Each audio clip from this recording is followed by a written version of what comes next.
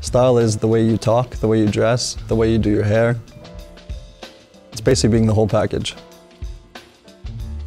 Meet Canada's sharpest man, style guru Jonathan Cavaliere. From the hottest trends to simple tips and tricks, he's here to give you the inside look on expressing style with ease. The biggest trend in menswear is this athleisure vibe that's going on right now. And it's pretty much taking all those tailored garments and mixing them with stuff that you would maybe wear to the gym.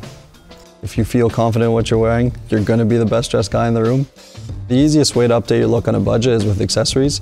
They don't cost a lot, so adding a cool sock or a tie or a pocket square are very simple ways to kind of make you stand out in a crowd. Besides a men's wardrobe, I feel like the, the, grooming regimen is a big part of the way they look. Guys don't have too many options when it comes to their face, so nailing their grooming regimen is very important. The clean shave, it's a little bit more professional than the stubble or the beard. For a first date is a little bit of stubble, kind of accentuates your jawline a little bit. The everyday look you can kind of play around with a beard, the stubble, or a clean shave. It's kind of up to you. Beards are probably the biggest thing in male grooming right now. Some guys like using a manual razor because they get the closest shave possible, or some guys like using a trimmer because it's quick and efficient. The benefits of the Philips One Blade is you have all your grooming essentials in one tool.